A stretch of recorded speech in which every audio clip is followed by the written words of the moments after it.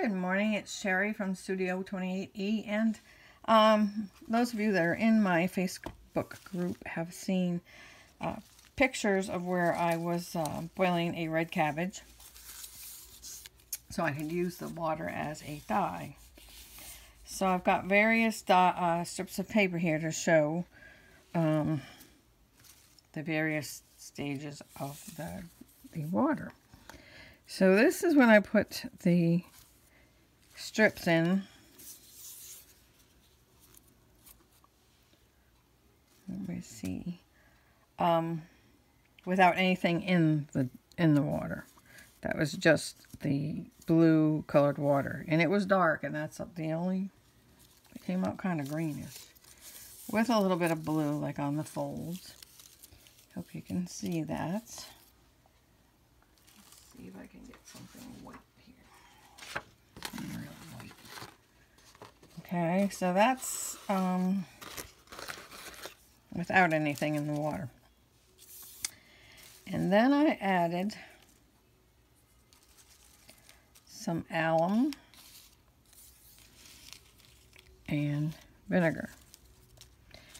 Now you're going to see on some of these where it's got like dual colors. It's because they laid on top of each other. So this would be like just a plain blue. This would be the blue, the plain blue that the um, alum and I added vinegar too. Alum and vinegar were in this one, but they were laying on top of these, so the colors kind of ran. And just for the heck of it, I dyed um, some,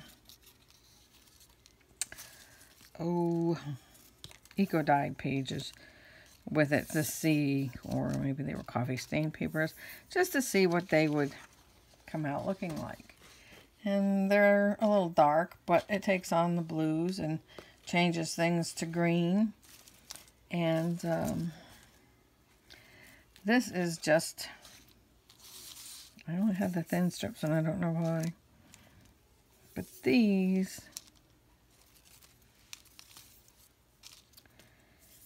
are just blue um,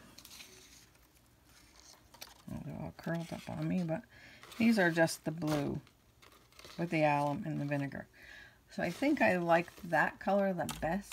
Um, I hope you can see those colors.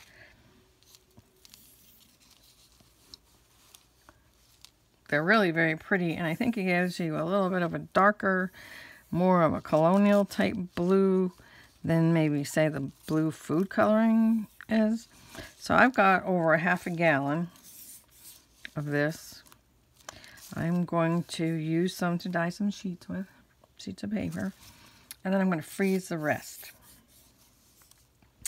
And I don't know if when you freeze it, it will change the colors or not. Um, I never did get any violets out of these or purple colors or reds. This is all, this. these were the color variances I got. So I know I'm going to pull out some of my frozen, uh, let's see, what is it, avocado tea that I had made with a purplish color avocado, and it made a beautiful pink. But I'm going to pull out some of that and thaw it out, and I'm going to try it, because supposedly that's supposed to turn purple. So I'm going to try that a little bit later, but right now I'm going to be working on a journal. Uh, I think first I'm going to do a video of a kit and then I'll work on a journal. So stay tuned for my phase three of uh, dyeing whole sheets of paper with the red cabbage dye. Thank you for watching.